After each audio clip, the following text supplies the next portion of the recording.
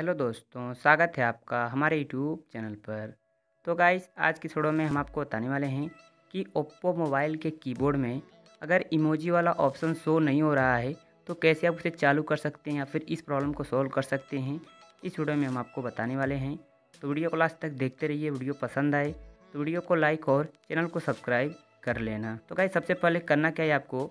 Mobile के setting में जाना है।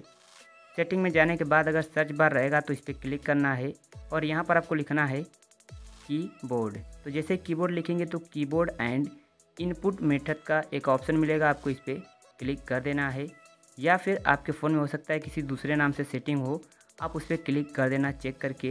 अगर आपके फ़ोन में सर्च बार नहीं है तो फिर आपको आना है नीचे और यहाँ पर एक सेटिंग मिलेगी एडिशनल सेटिंग्स आपको एडिशनल सेटिंग्स पे क्लिक करना है। फिर यहाँ पर आने के बाद कीबोर्ड एंड इनपुट मेथड पे क्लिक करना है। फिर यहाँ पर आपको जी बोर्ड मिल जाएगा या फिर इमोजी वाला ऑप्शन मिलेगा। तो अगर इमोजी वाला ऑप्शन मिले तो उसे यहाँ से चालू कर देना है। अगर वो वाला ऑप्शन नहीं है तो जी बोर्ड का ऑप्शन है तो जी बोर्ड पर क्लिक करना है। तो यहाँ पर प्रेफरेंस नाम की सेटिंग मिल जाएगी। अगर ये सेटिंग बाहर हो तो जहाँ पर मैंने आपको बताया था इधर तो आपको इधर ही क्लिक कर देना है। तो हम क्लिक करते हैं यहाँ पर, अंदर है तो प्रेफरेंस पे क्लिक करते हैं। फिर यहीं पर देखिए इमोजी वाला ऑप्शन है। तो इमोजी स्विच की आपको इसे यहाँ से चालू कर देना है। चालू जैसे कर देते हैं, फिर आपको बैक आना है।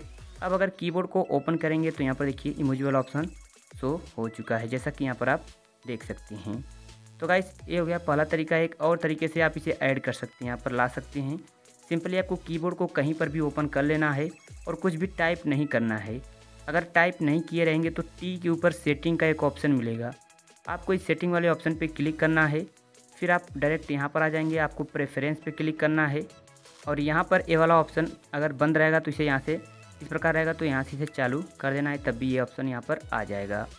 तो गाइस इस तरीके से आप इमोजी वाले ऑप्शन को चालू कर सकते हैं। तो आज के वीडियो में बस इतना ही। वीडियो को लाइक और चैनल को सब्सक्राइब कर लेना।